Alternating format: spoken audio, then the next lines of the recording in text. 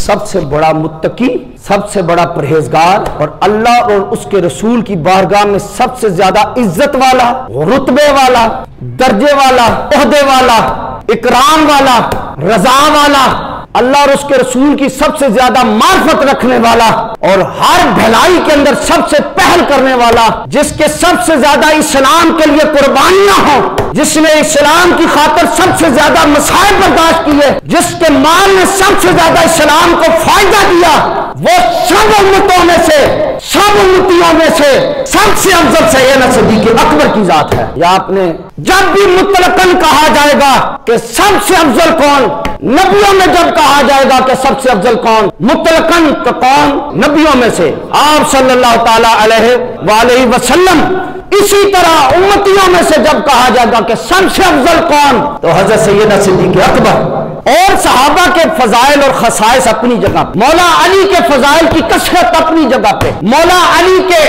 खसाइस की कसरत अपनी जगह पे उनकी शोहरत अपनी जगह पे उनकी नस्बत मुस्तफ़ा अपनी जगह पे उनका इल्म अपनी जगह पे उनकी जुलत अपनी जगह पे उनकी बहादुरी अपनी जगह पे हर चीज़ अपनी जगह पे हज़रत उस्मान गनी की सखावत अपनी जगह पे हज़रत उस्मान गनी की हर सखावत अपनी जगह पे हज़रत उमर की जुलत और बहादुरी और अदल इंसाफ और हुक्मरानी और खिलाफत हर जगह पे। सब सब सहाबा कराम की अजमतें अपनी जगह पे।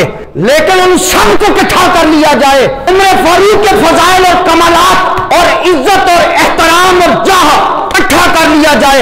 हज़रत उस्मान गनी की अजमत इकट्ठी कर ली जाए। हज़रत मौलानी मुश्किल कुशा की अजमत इकट्ठी कर ली जाए। अशरम मुबशर की अजमत इकट्ठी कर ली जाए। आहले बदर, तमाम महाजरीन और इंसार की सारी अजमत इकट्ठी कर ली जाए। उनके मोहम्मदिया के सारे कुतब घोष अबदान अखियार नौजवा कुतबा सबकी वलियों की और हर उन्नति के नामा अमाल नेकिया, तकवा, परहेजगारी, अजमत बुजुर्गिया इकट्ठी कर ली जाए। पिछले नबियों के, उम्मतियों के अमाल सब इकट्ठे कर लिया जाए। एक पल्ले में रख दिया जाए। और अभी बकर का तकवा परहेजगारी इज़्ज़त अदब एहतराम और करब दूसरे भारी है बात समझ में आई जी?